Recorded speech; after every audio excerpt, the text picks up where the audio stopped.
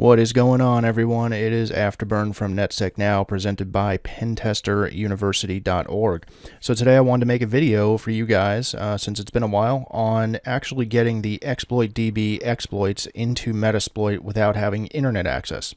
So, um, as you may or may not know, Kali Linux, the newest and greatest, latest and greatest, uh, actually has Exploit DB built into it with a search function and that's called Searchsploit.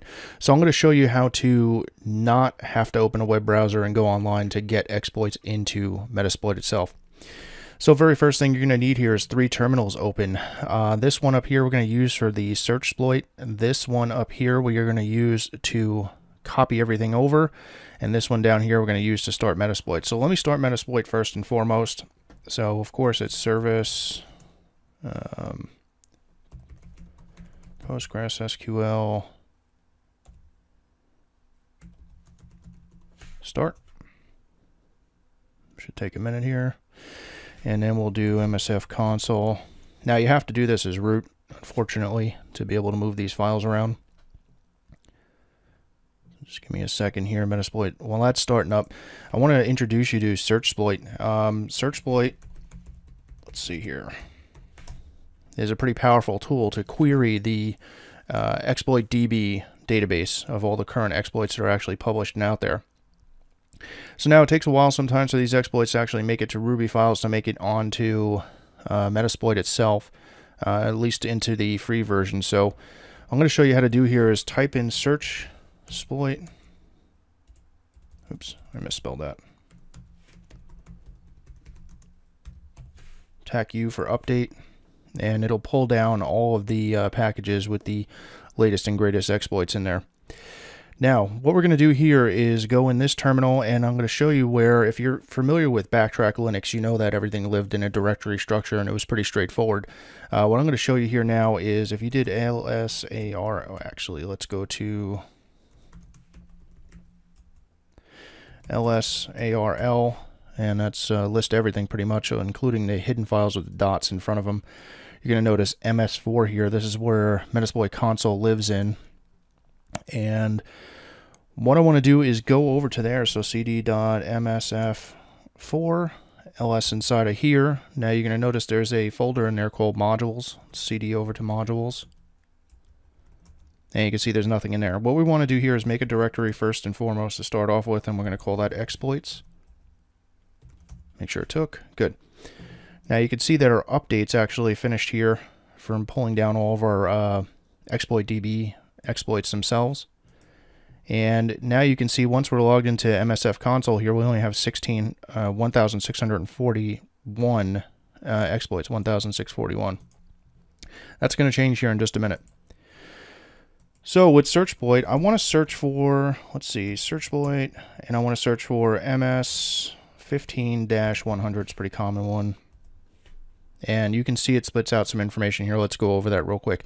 I'm pretty sure this, I confirm that this works with Ruby files only, uh, not so much on the Python scripts as of right now, at least to my knowledge, don't quote me on that.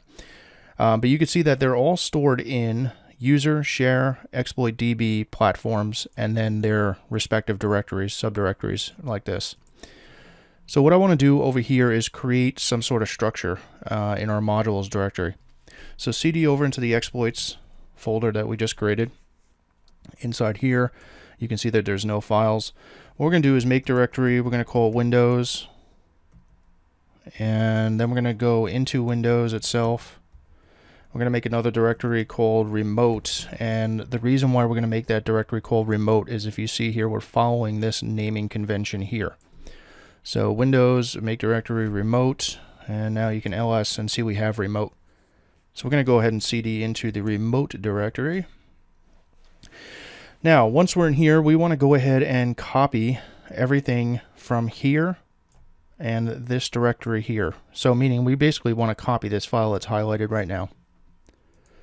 So simply cp user share um, exploit oops db platforms and then we want to go Windows and we want to do remote and then we want to do that file 38 195 .rb.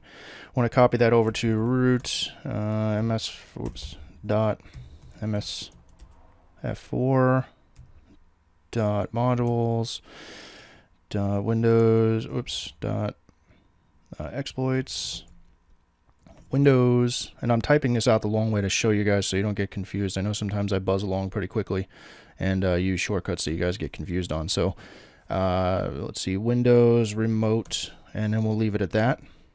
And now if we ls inside here you can see that we have this same Ruby module uh, that was right here right so now you may be asking yourself, well, great, but how do we get it actually into exploit uh, into um, MSF console?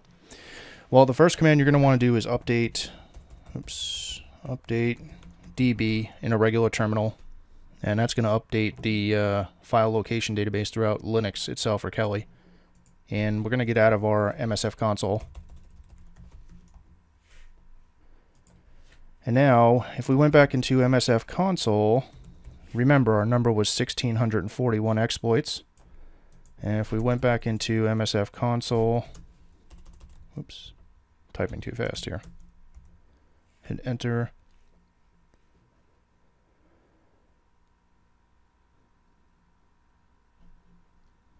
And starting the framework.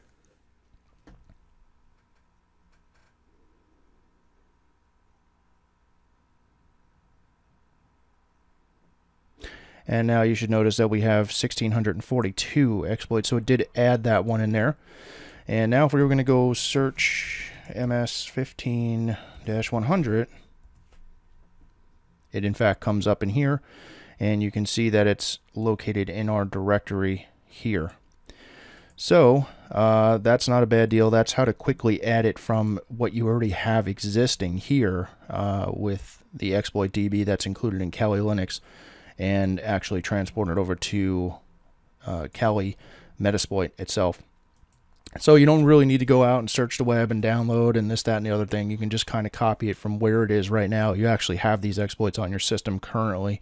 You just need to copy them on over to the actual Metasploit directory so you can use them in Metasploit themselves. So I hope you guys enjoyed this video. Make sure you check out our website, pentesteruniversity.org. I appreciate uh, all your support over the years, and I hope to see you at our school and possibly enrolled. Thanks for watching.